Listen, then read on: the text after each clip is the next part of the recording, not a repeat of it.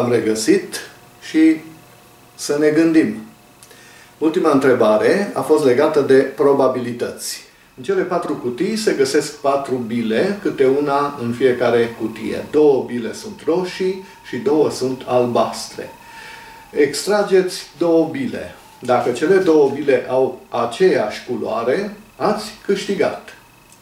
Există trei rezultate posibile de extragere. Două bile roșii, două bile albastre sau una roșie și una albastră. Aveți două șanse din trei de câștig. Mai jos erau următoarele instrucțiuni. Le puteți vedea în desen. Puteți paria în trei feluri. 1. Puteți face o singură extragere. Dacă extrageți două bile de aceeași culoare, indiferent ce culoare, câștigați suma pe care ați pariat-o. 2. Puteți face două extrageri. Sigur că după prima extragere bilele sunt puse înapoi și cutiile sunt amestecate, evident fără să știți cum. Dacă la fiecare extragere bilele au aceeași culoare, indiferent care, deci pot fi odată roșii, odată albastre, primiți de 10 ori suma pariată. Și 3.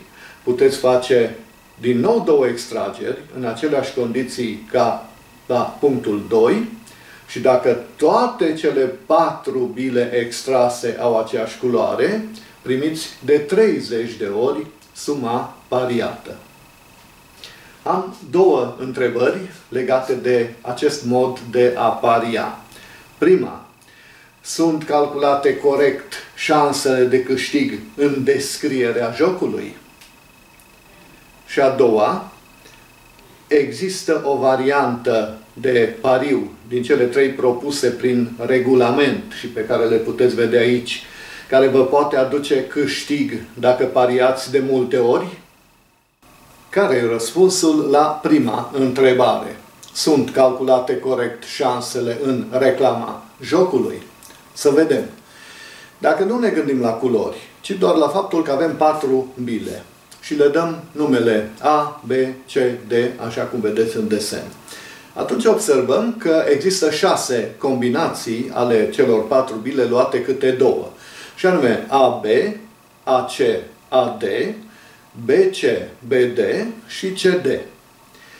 Dar dacă ne gândim din nou acum la culori, știm că există o singură combinație posibilă prin care apare roșu-roșu și o singură combinație posibilă prin care apare albastru-albastru. Ceea ce înseamnă că doar două combinații din șase sunt câștigătoare. Și asta mai înseamnă că șansa de câștig este 2 pe 6, adică 1 pe 3. Concluzia. Șansele nu sunt calculate corect în reclamă. În loc de 2 pe 3, cât spune reclama că ar fi șansele de câștig, ele sunt de doar 1 pe 3, adică doar jumătate. Și e clar că cu șansa de 1 pe 3, adică aproximativ 33%, n-ai cum să câștigi pe termen lung, din potrivă, cu cât joci mai mult, cu atât pierzi mai mult. Înainte de a discuta celelalte două variante, vreau să vă spun de ce am ales această primă întrebare. Pentru că ea ne arată ceva. Să vedem ce. Este adevărat că există doar trei rezultate posibile ale extragerii din punctul de vedere al culorilor. Roșu-roșu, albastru-albastru, roșu-albastru. Dar asta nu înseamnă că probabilitatea de apariție a fiecărui rezultat este 1 pe 3. De ce? Pentru că probabilitățile de apariție a celor trei rezultate depind de numărul combinațiilor prin care ele se pot realiza. Ori roșu-roșu se poate realiza printr-o singură combinație, albastru-albastru la fel, în schimb roșu-albastru se poate realiza prin patru combinații. Și anume, prima bilă roșie cu prima bilă albastră, prima bilă roșie cu a doua bilă albastră, a doua bilă roșie cu prima bilă albastră și a doua bilă roșie cu a doua bilă albastră. Și asta înseamnă că probabilitatea de a extrage două bile de culori diferite este 4 pe 6, este 2 pe 3. Concluzia. Faptul că avem un număr n de stări nu înseamnă că probabilitățile de realizare a stărilor sunt egale toate cu 1 pe n. Mai contează și multe alte lucruri.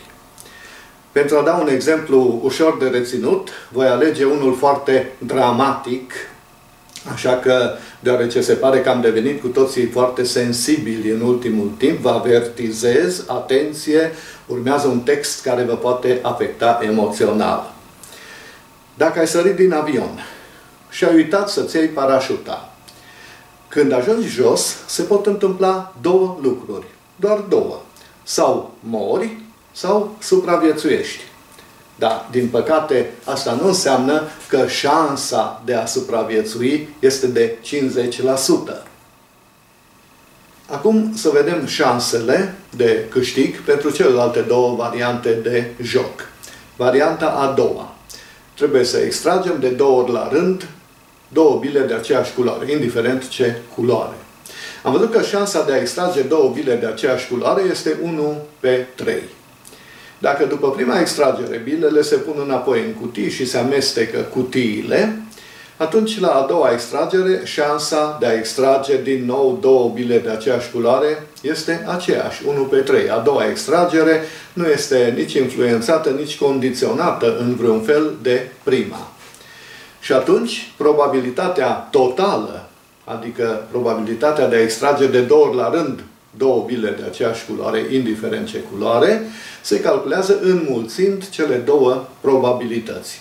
Și avem atunci 1 pe 3 ori 1 pe 3, adică avem o probabilitate de 1 pe 9. Jucând așa, vom câștiga în medie, odată la fiecare 9 extrageri, ceea ce înseamnă că dacă pariem de fiecare dată un leu, vom câștiga în medie 10 lei la 9 extrageri, adică la 9 lei pariați. Ceea ce înseamnă că această variantă de pariu ne dă o mică șansă de a câștiga dacă jucăm de multe ori, dar șansa este foarte mică. Varianta a treia. În această variantă, șansele care duc la câștig sunt diferite pentru cele două extrageri, pentru că extragerea a doua este condiționată de ce se întâmplă în extragerea întâi. Șansa să extrag două bile de o anumită culoare la prima extragere este, știm de acum foarte bine, 1 pe 3. Dar la a doua extragere nu mai sunt câștigătoare ambele culori. Adică fie două roșii, fie două albastre. Dacă la prima extragere au ieșit două bile roșii, atunci la a doua extragere avem nevoie tot de două bile roșii. Iar dacă la prima extragere au ieșit două bile albastre, atunci la a doua extragere avem nevoie tot de două bile albastre. Dar aceste combinații se realizează doar cu probabilitatea de 1 pe 6. Adică două roșii, de pildă. 1 pe 6. Ceea ce înseamnă că probabilitatea totală acum se calculează, din nou înmulțim cele două probabilități, cu formula 1 pe 3, șansa pentru prima extragere, înmulțit cu 1 pe 6, șansa pentru a doua extragere și obținem 1 pe 18 atunci înseamnă că vom pierde în medie la fiecare set de 18 pariuri de 17 ori și vom câștiga o dată. Dar când câștigăm, câștigăm 30 de lei. Deci la 18 lei pariați, câștigăm în medie 30 de lei. Adică mai bine, mult mai bine decât în varianta a doua. A treia variantă de pariu, acum pot să vă spun, a fost gândită ca o capcană pentru cei care ar fi gândit în felul următor. De data asta, deoarece toate patru bilele extrase trebuie să aibă aceeași culoare, înseamnă că șansa să extrag o anumită culoare, de pildă roșu, este 1 pe 6 și atunci șansa totală ca să extrag de două ori roșu este 1 pe 6 înmulțit cu 1 pe 6, adică este 1 pe 36. Cei care s-ar fi gândit așa, ar fi tras concluzia că și a treia variantă de pariu este pierzătoare pe termen lung, deoarece, deși câștigul este 30 la 1, șansa de a câștiga este doar de 1 la 36. Raționamentul acesta nu este greșit, dar nu este complet. Este adevărat că șansa ca toate bilele să aibă o anumită culoare, de pildă roșu, este 1 pe 36, dar sunt două culori. Bilele pot fi și toate albastre și câștigăm și în acest caz. Așa că șansa de 1 pe 36 trebuie înmulțită cu 2. Și ajungem din nou la șansa de 1 pe 18, așa cum am calculat-o prin prima metodă pe care v-am arătat-o. Am primit, printre altele, un răspuns mai mult decât corect, dacă se poate spune așa, de la Dumitru Antonie. Spun așa deoarece domnul Antonie a analizat variantele într-o situație mult mai complexă decât cea prezentată de mine, lucru pentru care îi mulțumesc, pentru că m-a făcut să văd uh, acest uh, tip de pariu din altă perspectivă, din alt unghi, și ne-a prilejuit o discuție constructivă legată de probabilități, în general. De asemenea, trebuie să o menționez pe Daniela Carmen Băluță, care s-a folosit de schema hipergeometrică pentru a calcula probabilitatea de câștig în primul caz. Felicitări! Și acum, întrebarea de azi. Avem, așa cum vedeți în imagine, o balanță cu brațe inegale. Pârghia este prinsă în punctul O și are greutatea neglijabilă, iar în locul talerelor avem două flacoane ușoare de plastic. Mai avem o masă marcată de un kilogram, una singură, și un furtun prin care vine apă. Nimic altceva. Și acum voi pune trei întrebări. Prima întrebare. Este evident că dacă punem masa marcată în flaconul din stânga și turnăm apă în flaconul din dreapta până se echilibrează balanța, în flacon vom avea mai puțin de un kilogram de apă.